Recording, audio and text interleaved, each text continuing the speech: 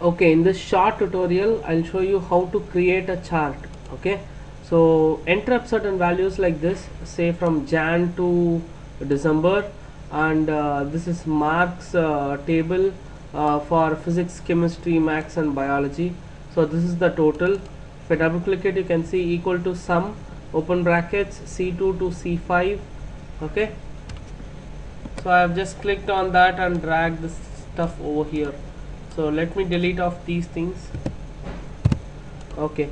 So to create a chart you have to select all these data. Click on insert. Click on chart. So the best thing with uh, uh, OpenOffice is that it automatically shows you like how the chart is going to appear later on. So I'm going to select a line chart. Okay. And I'm going to select this one so that the line appears rather than just the dots.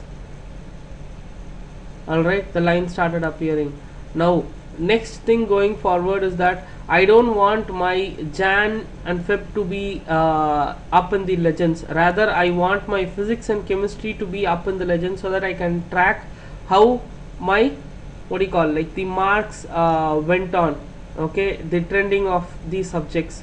So for that just go ahead with the next stuff okay? In data ranges I need to switch over. Data series should be in the rows. So if you could see clearly right now physics chemistry max are in the x-axis.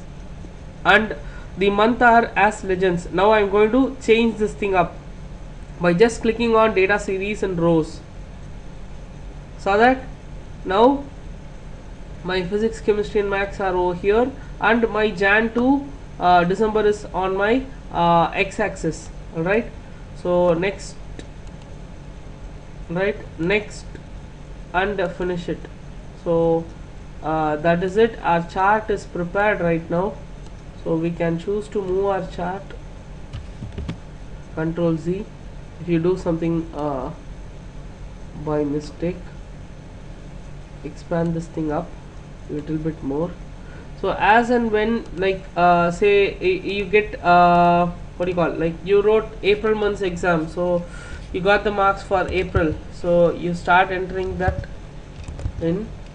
So you can see the uh, graph getting changed up automatically. So let me put it as 89 enter. So you saw that the trending. This is the total which is in this color. Okay you can also choose to increase the font size of this. So it's just a small tutorial uh, okay thanks for watching this video. Bye bye